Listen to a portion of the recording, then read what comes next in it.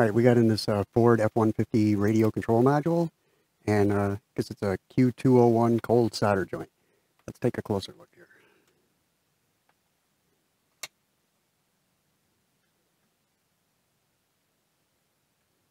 That was a good shot, see that?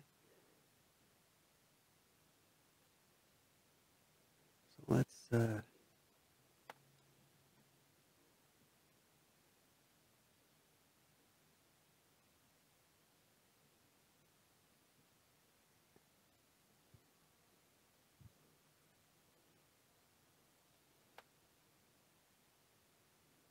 Well, that looks like some cold solder joints to me. Can we get any tighter? I need some more light.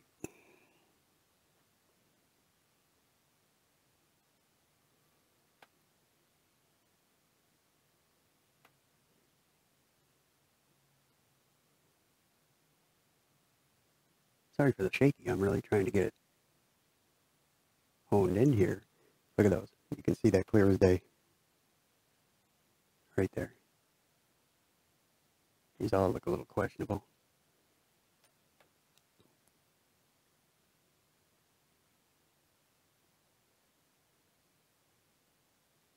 And if you look really close, I don't know, is this showing up? Look at right here. You can actually see where it's been trying to arc across. Doesn't look great. Look at crack here, crack here. This is probably your main culprit here. Okay, let's touch this up. This is something I'm hearing people talk about baking it, which works. Because that's really what this is, is a solder paste. Reflowed after the part has been put on.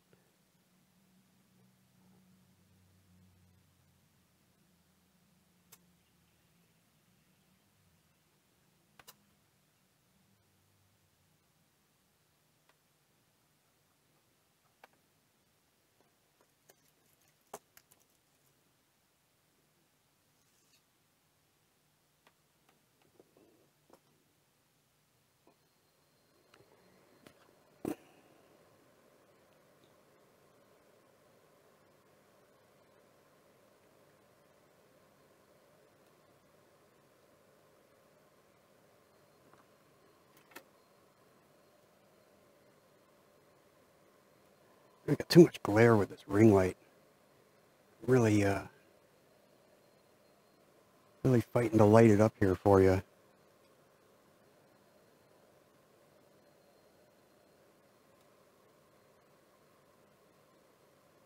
That's better. Still a little, a little bit glare, but you can see how a little bit of flux, and you reflow those. And as long as you don't bridge your joints,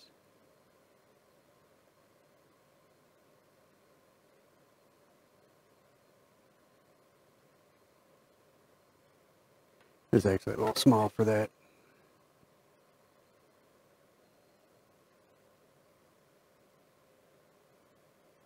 So you see how that bridged across there? There too. So you just want to watch your bridges. Let's turn this thing around and get the other side.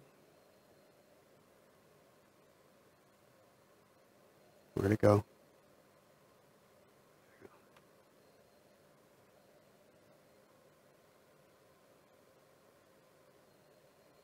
You know, at this side I've got a big cap right in my way.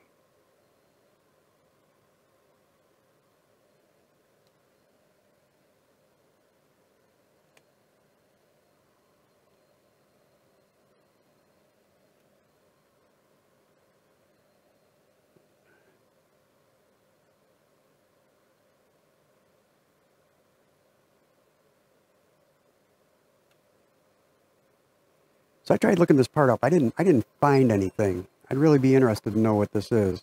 It's got to be some kind of regulator.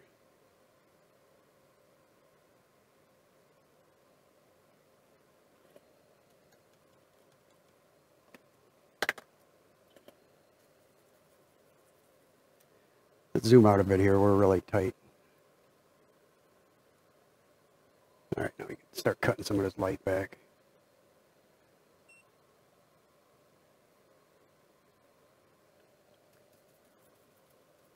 So I had it really zoomed in. You could probably have saw those joints from here. So let's take a little look around, see if we see anything else that could be questionable.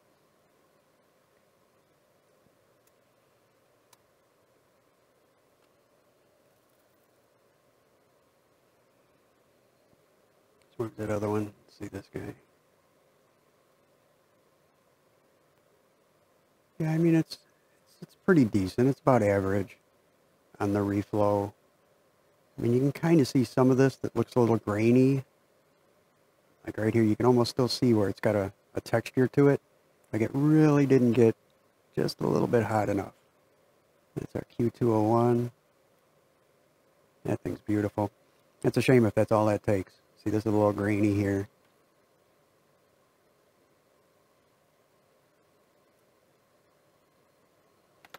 Because it really wouldn't hurt.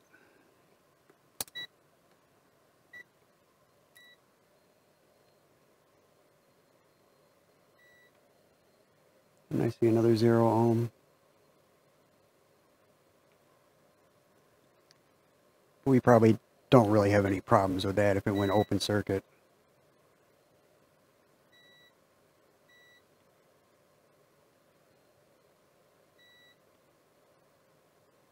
Bunch of them.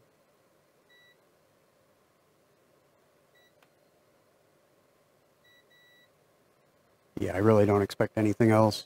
Um, those cold solder joints probably wasn't feeding power to one of these chips. I don't see anything cracked, anything broke. This thing will probably be great after this. So as you saw, even, even with the hot air, I mean, you gotta, you gotta watch. You got caps around.